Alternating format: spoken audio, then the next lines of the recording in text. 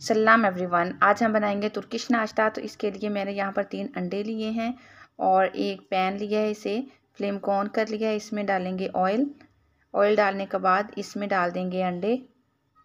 तो यहाँ पर तीन अंडे मैंने डाले हैं और एक की की जगह नहीं थी, बैलेंस नहीं था तो इसलिए एक बाद में डाला है।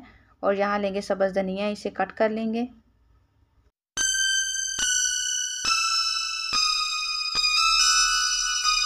धनिया को कट करने के बाद इसे कटोरी में डालेंगे और अंडे हमारे रेडी हो गए हैं।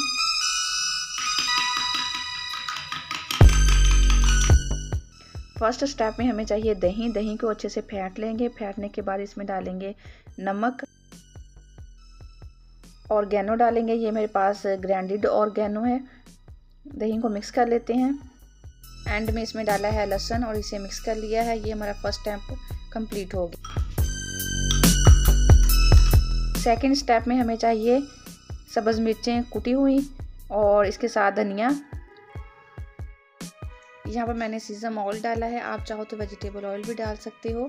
ये हमारा रेडी है, इसे मिक्स कर लेंगे। ये दोनों स्टेप हमारे रेडी हैं। अब दही लेंगे दही को एक प्लेट में फैला देंगे।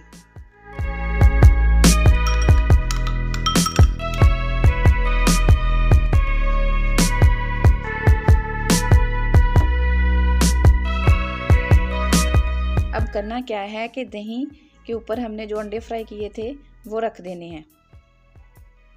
ये इतना काम तो हो गया है। अब आ जाता है थर्ड स्टेप थर्ड स्टेप में हमें क्या करना है कि थर्ड स्टेप में हम लेंगे लहसुन और इसे सोते कर लेंगे। सोते करने के बाद इसमें डालेंगे नमक रेड चिली पाउडर और टमाटर का पेस्ट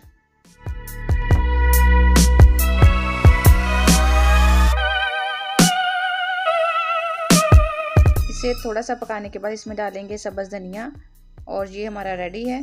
इसे एक कटोरी में निकाल लेते हैं।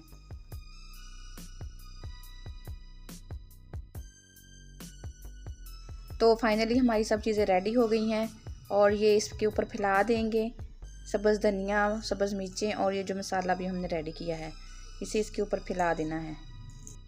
तो इसको फैलाने के बाद हमारा तुर्किश नाश्ता रेडी है। खाओ, पियो इंजॉय करो और मुझे दो इजाज़त। अल्लाह हाफिज़।